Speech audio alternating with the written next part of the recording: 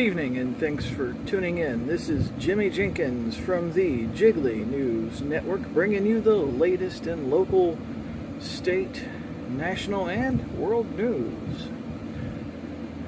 First, local pizza shop owner Juan Pablo Montoya Estevez Escobar was arrested today on drug trafficking charges. Apparently, he was selling more than pepperoni out of his pizza shop at the very small cost of $130,000. The local police department bought lots and lots and lots of pizza from the pizza shop and tested it and found massive amounts of cocaine. It seems his business plan was to get everybody addicted to his pizza, jack up the prices, and then retire a millionaire. In state news, Ohio is still better than Michigan. Michigan sucks. They are the mistake on the lake. In national news, Washington, D.C. is full of dumbasses. Lots of dumbasses. Dumbasses top to bottom. Inside, outside, left, right, in between, it doesn't matter. They're all a bunch of dumbasses. International news, we are still the laughing stock of the rest of the world. We are an embarrassment upon the planet. And with that, we're going to turn over to our man, Purple Jiggly, who is the man on the scene. If I understand this correctly, he is patiently waiting for the Independence Day parade. Purple Jiggly, it's the end of August. It's not Independence Day. That was July the 4th. Over to you. Now you listen here, you commie son of a bitch. This is America, damn it. Every day is Independence Day. But you are correct, Jimmy. I am live here on the scene of the Independence Day parade, or at least where I hope the parade is going to be. I found the most America thing I could find. Check that out. Ain't that beautiful? I found the most America thing I could find. I plumped my ass down in front of it. Got a road out here in front of me. And I figure if I sit here long enough, there's going to be an Independence Day parade. And I'm going to sit out here until either there's a parade or I max out this credit card ordering pizza. I've been out here. I just about witnessed vehicular homicide. That was wild. Anyway, I'm going to sit my fat ass out here in front of this great big flag and whatever that thing is until either there's an Independence Day parade or I max out this credit card order and pizza and two liters because they'll bring it right here, which is wild. I didn't think that would happen. But uh, I'm going on two months out here, but eventually, like I said, I got my hopes up. But anyway, I want to ask you something. Why ain't those, why ain't there no knock knock jokes about America? I'll tell you why. Cause freedom rings, bitch. Ding dong. Back to you in newsroom, you stuffed shirt commie, red Russian asset, some bitch.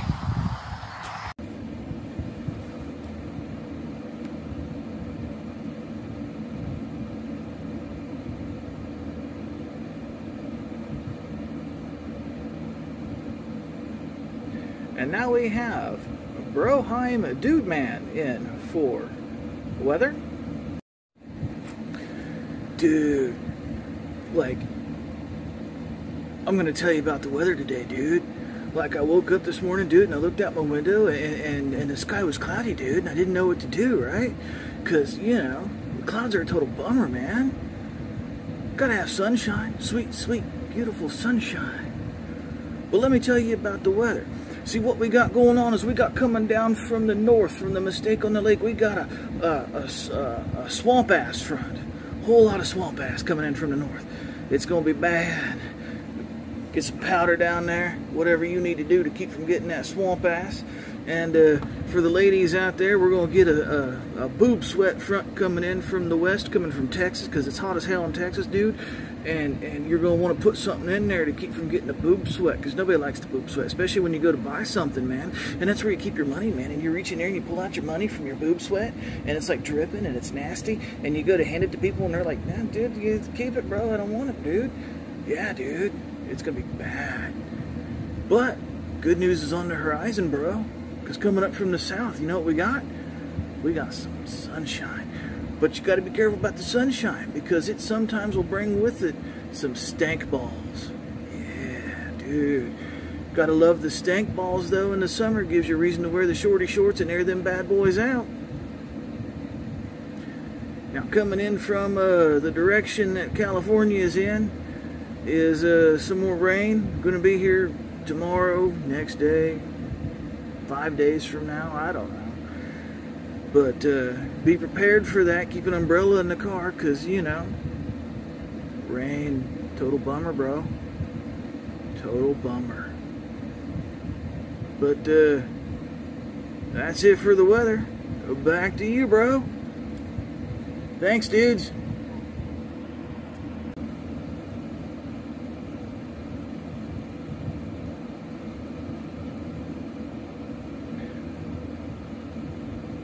And over to Dick Cocksmith with the latest in sports.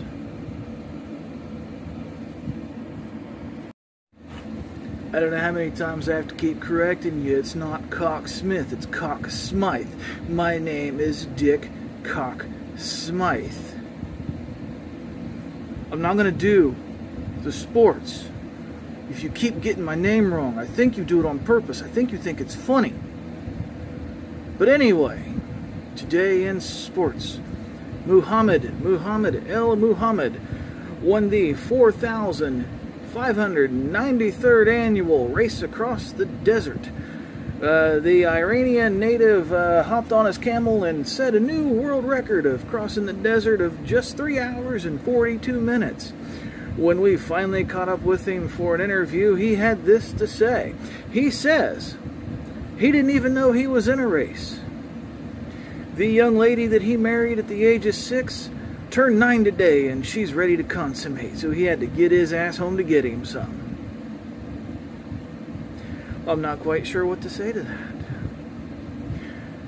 Uh, if we take a look at uh, national sports news, down in Florida they had the very first annual uh, Great White Shark Wrestling Competition. Um, nobody won. Everybody lost. At least a finger, whole arm, some toes, and some legs. There are no winners in that competition, and uh, the founders of it say uh, they'll look at other options for next year.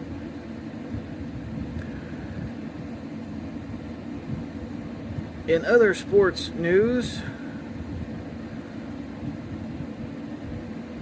the local uh, Jigglyville All-Star Mud Devil Water Buffalo riding team um, was out practicing today and then they got a a visit from uh, PETA who told them that uh, racing water buffaloes was animal cruelty and they couldn't do it anymore. So now they will be called the Water Buffalo Mocking Team and they plan on going into competition telling dad jokes to Water Buffalo until they submit. Could be fun. Also, we have some wood chuck chucking if you go down to West Virginia today, you will stumble into the National Woodchuck Chucking Convention. Uh, folks from all over the country are there to take their hand to see who can toss the woodchuck the furthest. That's it for sports. Back to you.